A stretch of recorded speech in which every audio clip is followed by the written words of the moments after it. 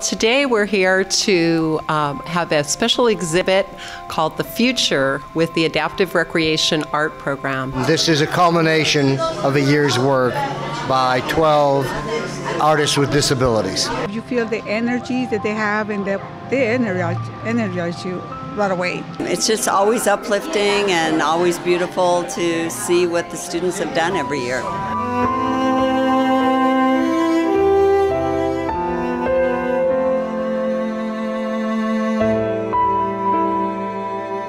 I color all different color and a lot nice what I'm doing. I do slowly, I don't go too fast. They each stand out individually. They all show their own uniqueness in it, and I really like that. We've come a long way.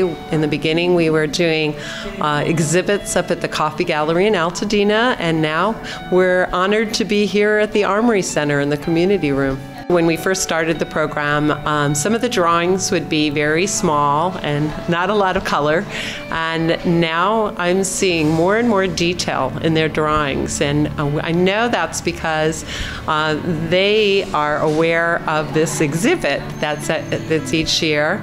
And so they know to make their pictures very colorful and a lot of detail. And they work very, very hard on their art. What stands out is the artist wanting to show them to me and explain them to me and help explain to me what they're trying to convey. And uh, I mean, that level of enthusiasm is really infectious. I like to express my uh, feelings through art. They're looking forward every Wednesday to the art to the art class. They love the art. They uh, relieve their tensions that they have.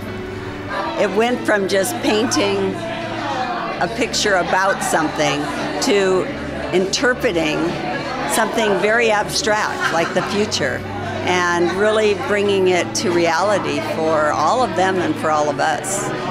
It's also an achievement. This is a population of people don't think they ever achieve anything. And this works against that stereotype.